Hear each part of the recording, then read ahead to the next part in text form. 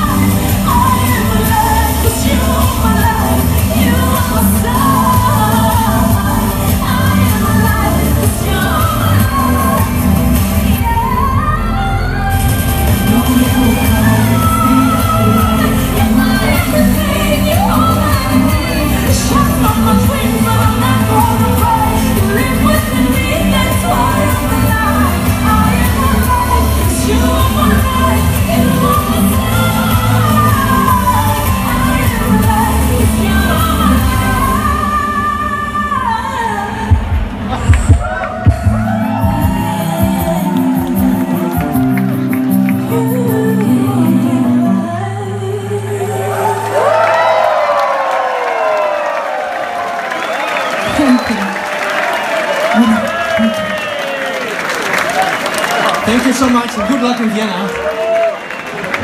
And listen, Celia, she has already... Uh